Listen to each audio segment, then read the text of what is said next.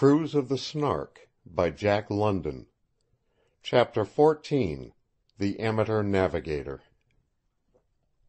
There are captains and captains, and some mighty fine captains, I know; but the run of the captains of the Snark has been remarkably otherwise. My experience with them has been that it is harder to take care of one captain on a small boat than of two small babies. Of course this is no more than is to be expected. The good men have positions, and are not likely to forsake their 1,000 to 15,000 ton billets for the Snark, with her ten tons net. The Snark has had to call her navigators from the beach; and the navigator on the beach is usually a congenital inefficient; the sort of man who beats about for a fortnight trying vainly to find an ocean isle and who returns with his schooner to report the island sunk with all on board; the sort of man whose temper or thirst for strong waters works him out of billets faster than he can work into them. The Snark has had three captains, and by the grace of God she shall have no more. The first captain was so senile as to be unable to give a measurement for a boom jaw to a carpenter. So utterly agedly helpless was he that he was unable to order a sailor to throw a few buckets of salt water on the Snark's deck. For twelve days at anchor under an overhead tropic sun the deck lay dry. It was a new deck. It cost me one hundred and thirty five dollars to recalk it. The second captain was angry. He was born angry. "Papa is always angry," was the description given him by his half breed son. The third captain was so crooked that he couldn't hide behind a corkscrew. The truth was not in him; common honesty was not in him; and he was as far away from fair play and square dealing as he was from his proper course when he nearly wrecked the Snark on the Ringgold Isles.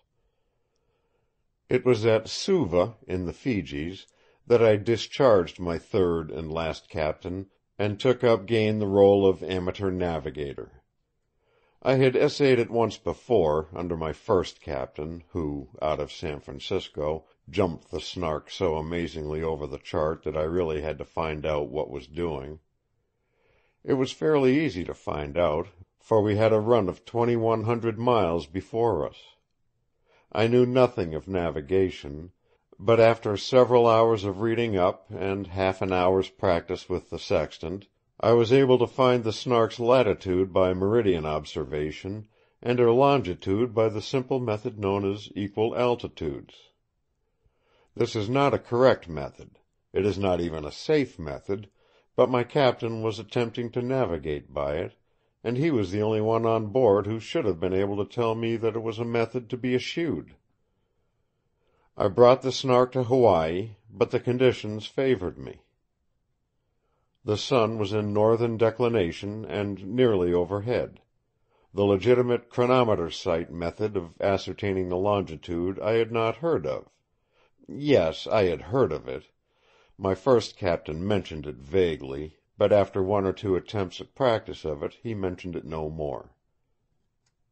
I had time in the Fijis to compare my chronometer with two other chronometers. Two weeks previous, at Pago Pago, in Samoa, I had asked my captain to compare our chronometer with the chronometers of the American cruiser the Annapolis. This he told me he had done; of course he had done nothing of the sort; and he told me that the difference he had ascertained was only a small fraction of a second. He told it to me with finely simulated joy and with words of praise for my splendid timekeeper. I repeat it now, with words of praise for his splendid and unblushing unveracity. For behold, fourteen days later, in Suva, I compared the chronometer with the one on the Atua, an Australian steamer, and found that mine was thirty one seconds fast. Now thirty one seconds of time, converted into arc, equals seven and one quarter miles.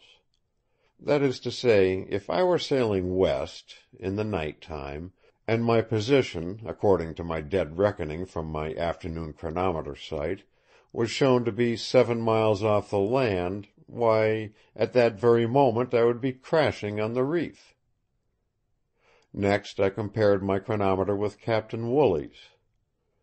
Captain Wooley, the harbor master, gives the time to Suva, firing a gun signal at twelve noon, three times a week. According to his chronometer mine was fifty nine seconds fast, which is to say that, sailing west, I should be crashing on the reef when I thought I was fifteen miles off from it. I compromised by subtracting thirty one seconds from the total of my chronometer's losing error, and sailed away for Tanna, in the New Hebrides, resolved, when nosing around the land on dark nights, to bear in mind the other seven miles I might be out, according to Captain Wooley's instrument. Tanna lay some six hundred miles west southwest from the Fijis, and it was my belief that while covering that distance I could quite easily knock into my head sufficient navigation to get me there. Well, I got there, but listen first to my troubles. Navigation is easy, I shall always contend that. But when a man is taking three gasoline engines and a wife around the world, and is writing hard every day to keep the engines supplied with gasoline and the wife with pearls and volcanoes, he hasn't much time left in which to study navigation. Also, it is bound to be easier to study said science ashore, where latitude and longitude are unchanging, in a house whose position never alters, than it is to study navigation on a boat that is rushing along day and night toward land that one is trying to find, and which he is liable to find disastrously at a moment when he least expects it. To begin with, there are the compasses and the setting of the courses. We sailed from Suva on Saturday afternoon, June 6, 1908, and it took us till after dark to run the narrow reef ridden passage between the islands of Viti Levu and Mbengha. The open ocean lay before me. There was nothing in the way, with the exception of Vatu Leile, a miserable little island that persisted in poking up through the sea, some twenty miles to the west southwest just where I wanted to go. Of course it seemed quite simple to avoid it by steering a course that would pass it eight or ten miles to the north. It was a black night, and we were running before the wind. The man at the wheel must be told what direction to steer in order to miss Vatu Leile. But what direction? I turned me to the navigation books. True course, I lighted upon; the very thing. What I wanted was the true course. I read eagerly on.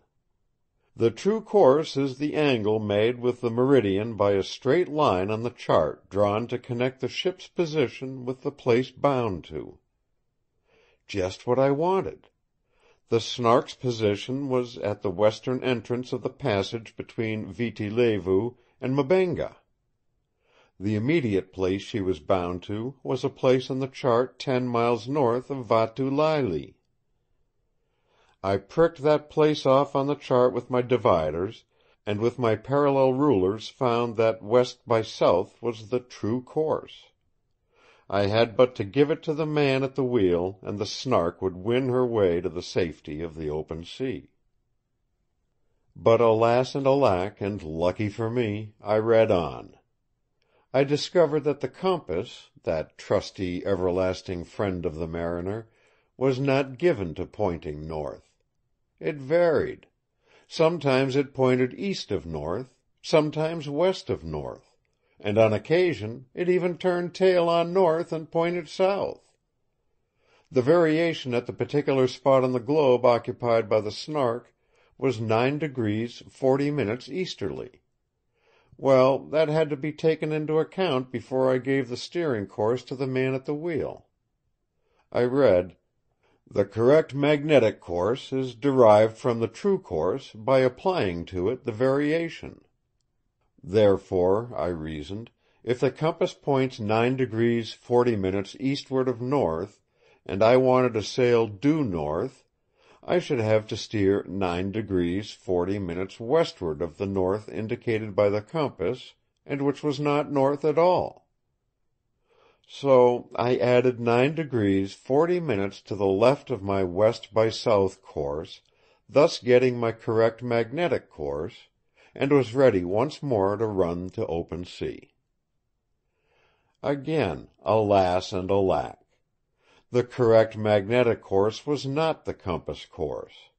There was another sly little devil lying in wait to trip me up and land me smashing on the roofs of Vatu Leile. This little devil went by the name of Deviation. I read: "The compass course is the course to steer, and is derived from the correct magnetic course by applying to it the deviation. Now deviation is the variation in the needle caused by the distribution of iron on board of ship. This purely local variation I derived from the deviation card of my standard compass, and then applied to the correct magnetic course. The result was the compass course. And yet not yet. My standard compass was amidships on the companionway. My steering compass was aft, in the cockpit, near the wheel. When the steering compass pointed west by south three quarters south, the steering course, the standard compass pointed west one half north, which was certainly not the steering course. I kept the Snark up till she was heading west by south three quarters south on the standard compass, which gave on the steering compass southwest by west. The foregoing operations constitute the simple little matter of setting a course. And the worst of it is that one must perform every step correctly, or else he will hear "Breakers ahead!" some pleasant night, a nice sea bath, and be given the delightful diversion of fighting his way to the shore through a horde of man eating sharks. Just as the compass is tricky and strives to fool the mariner by pointing in all directions except north, so does that guide post of the sky, the sun, persist in not being where it ought to be at a given time. This carelessness of the sun is the cause of more trouble; at least it caused trouble for me. To find out where one is on the earth's surface, he must know at precisely the same time where the sun is in the heavens. That is to say, the sun, which is the timekeeper for men, doesn't run on time. When I discovered this, I fell into deep gloom, and all the cosmos was filled with doubt. Immutable laws, such as gravitation and the conservation of energy, became wobbly, and I was prepared to witness their violation at any moment and to remain unastonished. For, see, if the compass lied, and the sun did not keep its engagements, why should not objects lose their mutual attraction, and why should not a few bushel baskets of force be annihilated? Even perpetual motion became possible, and I was in a frame of mind prone to purchase Keeley Motor stock from the first enterprising agent that landed on the Snark's deck and when I discovered that the earth really rotated on its axis 366 times a year, while there were only 365 sunrises and sunsets, I was ready to doubt my own identity. This is the way of the sun. It is so irregular that it's impossible for man to devise a clock that will keep the sun's time. The sun accelerates and retards as no clock could be made to accelerate and retard. The sun is sometimes ahead of its schedule, at other times it is lagging behind, and at still other times it is breaking the speed limit in order to overtake itself, or, rather, to catch up with where it ought to be in the sky. In this last case it does not slow down quick enough, and, as a result, goes dashing ahead of where it ought to be. In fact, only four days in a year do the sun and the place where the sun ought to be happen to coincide. The remaining 361 days the sun is pothering around all over the shop. Man, being more perfect than the sun, makes a clock that keeps regular time. Also, he calculates how far the sun is ahead of its schedule or behind. The difference between the sun's position and the position where the sun ought to be, if it were a decent, self respecting sun, man calls the equation of time. Thus the navigator endeavoring to find his ship's position on the sea looks in his chronometer to see where precisely the sun ought to be according to the Greenwich custodian of the sun. Then to that location he applies the equation of time and finds out where the sun ought to be and isn't. This latter location, along with several other locations, enables him to find out what the man from Kansas demanded to know some years ago. The Snark sailed from Fiji on Saturday, June 6th, and the next day, Sunday, on the wide ocean, out of sight and land, I proceeded to endeavor to find out my position by a chronometer sight for longitude and by a meridian observation for latitude. The chronometer sight was taken in the morning when the sun was some twenty one degrees above the horizon. I looked in the nautical almanac and found that on that very day, June 7th, the sun was behind time one minute and twenty six seconds, and that it was catching up at a rate of 14.67 seconds per hour.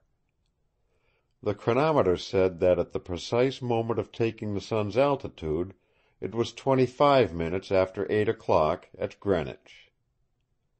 From this date it would seem a schoolboy's task to correct the equation of time.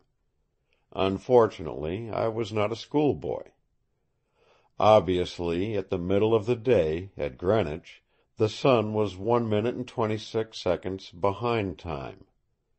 Equally obviously, if it were eleven o'clock in the morning, the sun would be one minute and twenty six seconds behind time, plus 14.67 seconds. If it were ten o'clock in the morning, twice 14.67 seconds would have to be added. And if it were 8.25 in the morning, then 3.5 times 14.67 seconds would have to be added.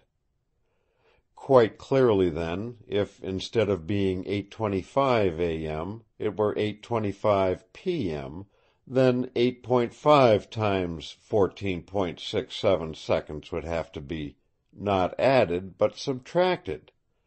For if at noon the sun were one minute and twenty six seconds behind time, and if it were catching up with where it ought to be at the rate of 14.67 seconds per hour, then at 8:25 p.m. it would be much nearer where it ought to be than it had been at noon.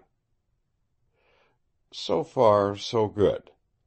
But was that 8:25 of the chronometer a.m. or p.m.? I looked at the Snark's clock. It marked 8:09, and it was certainly a.m., for I had just finished breakfast. Therefore, if it was eight in the morning on board the Snark, the eight o'clock of the chronometer, which was the time of the day at Greenwich, must be a different eight o'clock from the Snark's eight o'clock. But what eight o'clock was it? It can't be the eight o'clock of this morning, I reasoned, therefore it must be either eight o'clock this evening or eight o'clock last night. It was at this juncture that I fell into the bottomless pit of intellectual chaos. We are in east longitude, I reasoned, therefore we are ahead of Greenwich. If we are behind Greenwich, then today is yesterday. If we are ahead of Greenwich, then yesterday is today. But if yesterday is today, what under the sun is today? Tomorrow? Absurd! Yet it must be correct. When I took the sun this morning at 8.25, the sun's custodians at Greenwich were just arising from dinner last night. Then correct the equation of time for yesterday, says my logical mind. But today is today, my literal mind insists. I must correct the sun for today and not for yesterday. Yet today is yesterday, urges my logical mind. That's all very well, my literal mind continues. If I were in Greenwich, I might be in yesterday. Strange things happen in Greenwich. But I know as sure as I am living that I am here, now, in today, June 7th, and that I took the sun here, now, today, June 7th. Therefore I must correct the sun, here, now, today, June 7th. Bosh! snaps my logical mind. Lecky says Never mind what Lecky says, interrupts my literal mind. Let me tell you what the Nautical Almanac says. The Nautical Almanac says that today, June 7th, the sun was one minute and twenty six seconds behind time and catching up at the rate of 14.67 seconds per hour. It says that yesterday, June 6th, the sun was one minute and thirty six seconds behind time and catching up at the rate of 15.66 seconds per hour. You see, it is preposterous to think of correcting today's sun by yesterday's timetable. Fool! Idiot! Back and forth they wrangle until my head is whirling around and I'm ready to believe that I am in the day after the last week before next. I remembered a parting caution of the Suva harbor master. In east longitude, take from the nautical almanac the elements for the preceding day. Then a new thought came to me. I corrected the equation of time for Sunday and for Saturday making two separate operations of it, and lo, when the results were compared, there was a difference only of four tenths of a second. I was a changed man. I had found my way out of the crypt. The Snark was scarcely big enough to hold me and my experience. Four tenths of a second would make a difference of only one tenth of a mile, a cable length. All went merrily for ten minutes, when I chanced upon the following rhyme for navigators: Greenwich time least, longitude east; Greenwich best, longitude west. Heavens! The Snark's time was not as good as Greenwich time. When it was eight twenty five at Greenwich, on board the Snark it was only eight nine. Greenwich time best, longitude west. There I was, in west longitude beyond a doubt. Silly! cries my literal mind. You are 8.9 a.m. and Greenwich is 8.25 p.m. Very well, answers my logical mind. To be correct, 8.25 p.m. is really twenty hours and twenty-five minutes and that is certainly better than eight hours and nine minutes. No, there is no discussion. You are in west longitude. Then my literal mind triumphs. We sailed from Suva in the Fijis, didn't we? it demands, and logical mind agrees. And Suva is in east longitude? Again logical mind agrees. And we sailed west, which would take us deeper into east longitude, didn't we? Therefore, and you can't escape it, we are in east longitude. Greenwich time best, longitude west, chants my logical mind, and you must grant that twenty hours and twenty-five minutes is better than eight hours and nine minutes. All right, I break in upon the squabble. We'll work up the sight and then we'll see. And work it up I did, only to find that my longitude was 184 degrees west. I told you so, snorts my logical mind. I'm dumbfounded. So is my literal mind, for several minutes. Then it announces, But there is no 184 degrees west longitude, nor east longitude, nor any other longitude. The largest meridian is 180 degrees, as you ought to know very well. Having got this far, literal mind collapses from the brain strain, logical mind is dumb flabbergasted, and as for me, I get a bleak and wintry look in my eyes and go around wondering whether I'm sailing toward the China coast or the Gulf of Darien. Then a thin, small voice, which I do not recognize, coming from nowhere in particular in my consciousness, says: "The total number of degrees is 360. Subtract the 184 degrees west longitude from 360 degrees, and you will get 176 degrees east longitude." "That is sheer speculation," objects literal mind, and logical mind remonstrates. "There is no rule for it." "Darn the rules!" I exclaim. "Ain't I here?" "The thing is self evident," I continue. 184 degrees west longitude means a lapping over in east longitude of four degrees. Besides, I have been in east longitude all the time. I sailed from Fiji, and Fiji is in east longitude. Now I shall chart my position and prove it by dead reckoning.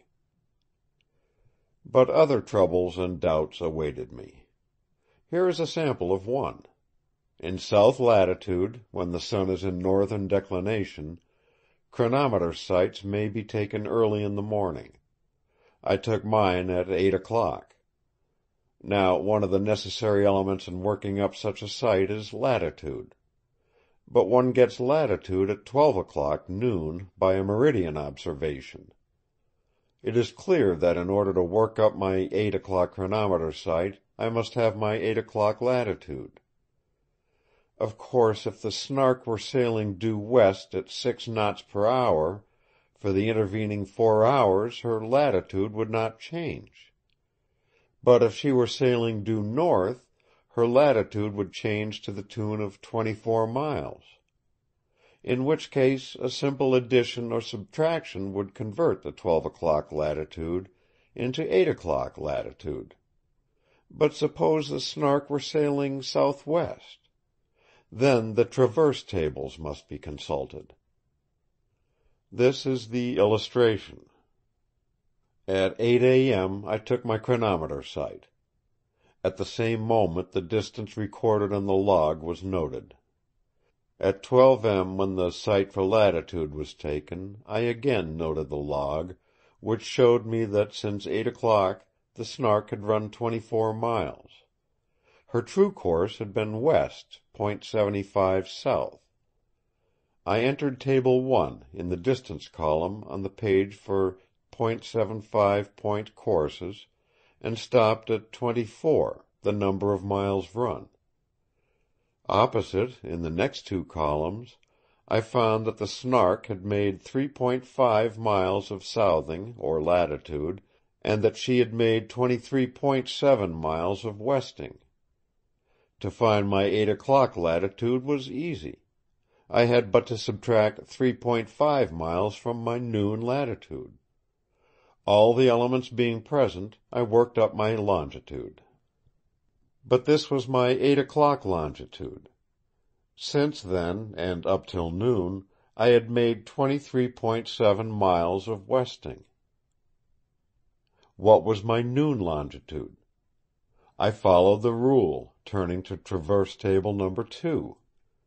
Entering the table, according to rule, and going through every detail, according to rule, I found the difference of longitude for the four hours to be twenty five miles. I was aghast. I entered the table again, according to rule. I entered the table half a dozen times, according to rule, and every time found that my difference of longitude was twenty five miles. I leave it to you, gentle reader. Suppose you had sailed twenty four miles and that you had covered 3.5 miles of latitude, then how could you have covered twenty five miles of longitude? Even if you had sailed due west twenty four miles and not changed your latitude, how could you have changed your longitude twenty five miles?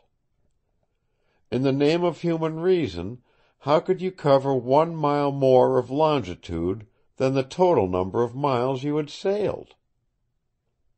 It was a reputable traverse table, being none other than Bowditch's. The rule was simple, as navigators' rules go.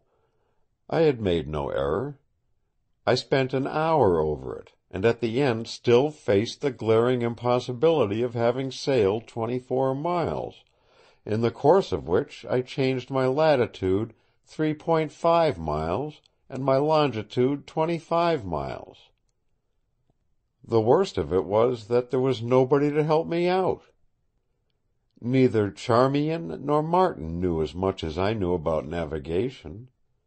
And all the time the Snark was rushing madly along toward Tanna, in the New Hebrides.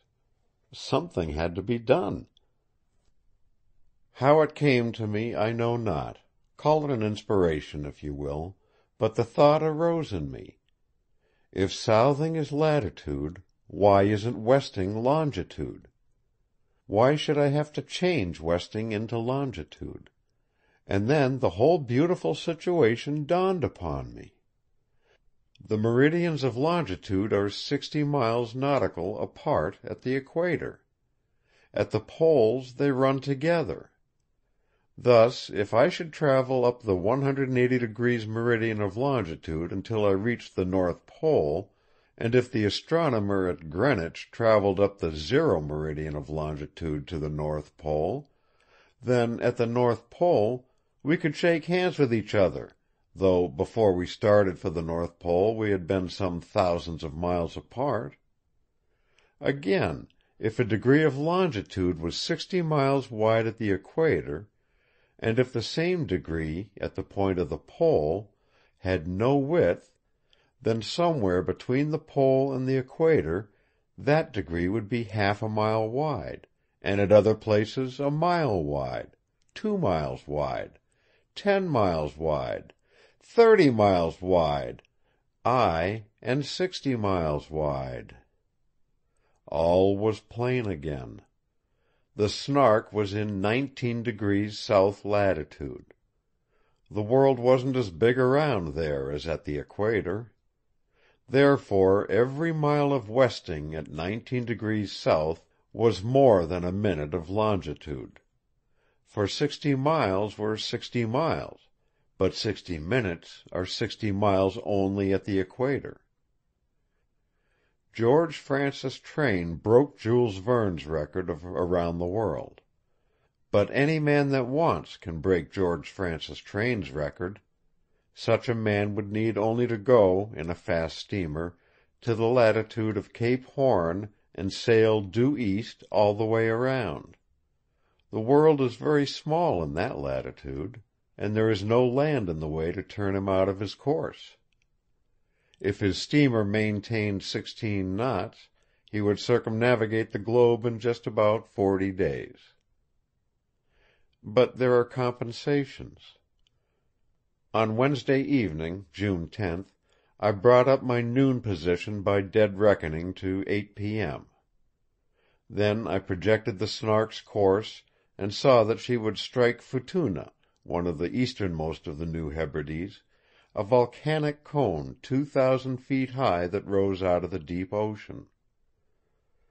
I altered the course so that the Snark would pass ten miles to the northward. Then I spoke to Wada, the cook, who had the wheel every morning from four to six. "Wada san, tomorrow morning your watch. You look sharp on weather. Bow you see land."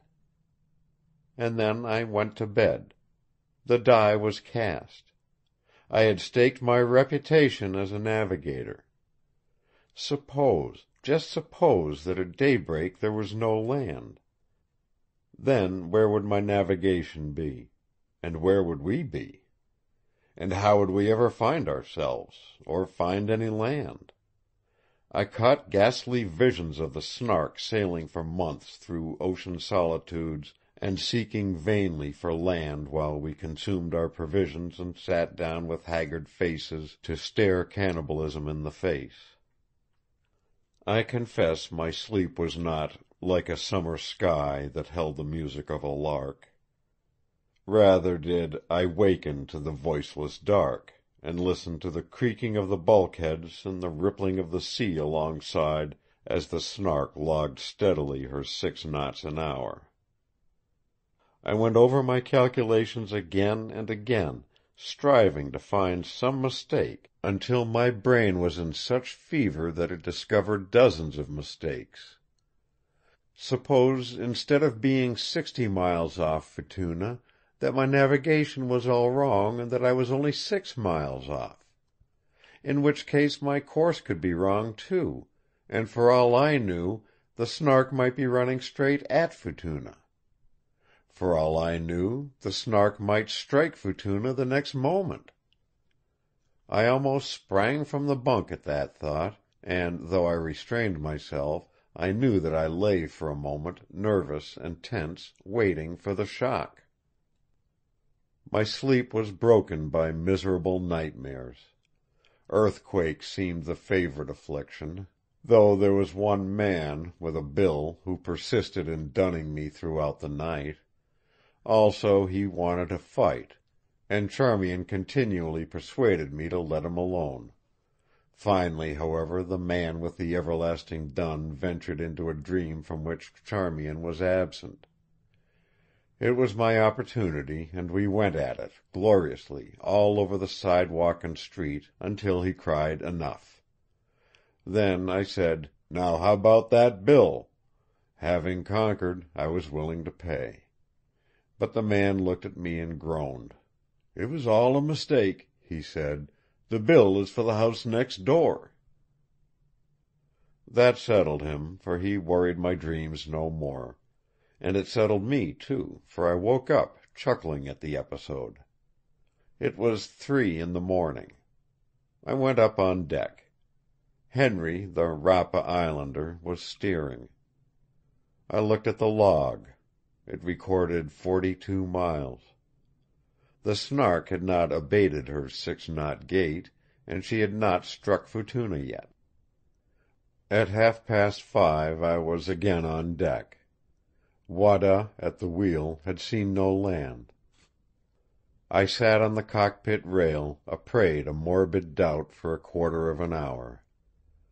Then I saw land, a small, high piece of land, just where it ought to be, rising from the water on the weather bow. At six o'clock I could clearly make it out to be the beautiful volcanic cone of Futuna.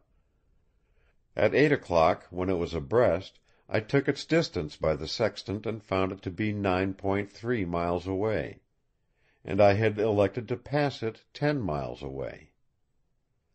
Then, to the south, a Aneiteum rose out of the sea; to the north Aniwa; and dead ahead Tanna. There was no mistaking Tanna, for the smoke of its volcano was towering high in the sky. It was forty miles away, and by afternoon, as we drew close never ceasing to log our six knots, we saw that it was a mountainous, hazy land, with no apparent openings in its coast line. I was looking for Port Resolution, though I was quite prepared to find that as an anchorage it had been destroyed. Volcanic earthquakes had lifted its bottom during the last forty years, so that where once the largest ships rode at anchor there was now, by last reports, scarcely space and depth sufficient for the Snark. And why should not another convulsion, since the last report, have closed the harbor completely? I ran in close to the unbroken coast, fringed with rocks awash upon which the crashing trade wind sea burst white and high. I searched with my glasses for miles, but could see no entrance. I took a compass bearing of Futuna, another of Aniwa, and laid them off on the chart. Where the two bearings crossed was bound to be the position of the Snark. Then with my parallel rulers I laid down a course from the Snark's position to Port Resolution. Having corrected this course for variation and deviation, I went on deck, and lo! the course directed me towards that unbroken coast line of bursting seas. To my Rapa islander's great concern I held on till the rocks awash were an eighth of a mile away. "No harbor this place," he announced, shaking his head ominously. But I altered the course and ran along parallel with the coast. Charmian was at the wheel. Martin was at the engine, ready to throw on the propeller. A narrow slit of an opening showed up suddenly. Through the glasses I could see the seas breaking clear across. Henry, the Rapa man, looked with troubled eyes. So did Tehei, the Tahaa man. "No passage here," said Henry. "We go there. We finish quick, sure." I confess I thought so too, but I ran on abreast, watching to see if the line of breakers from one side the entrance did not overlap the line from the other side. Sure enough it did. A narrow place where the sea ran smooth appeared. Charmian put down the wheel and steadied for the entrance. Martin threw on the engine, while all hands and the cook sprang to take in sail.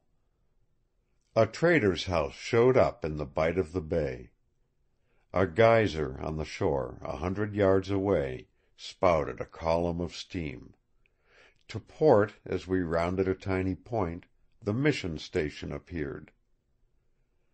"Three fathoms!" cried Wada at the lead line. "Three fathoms!"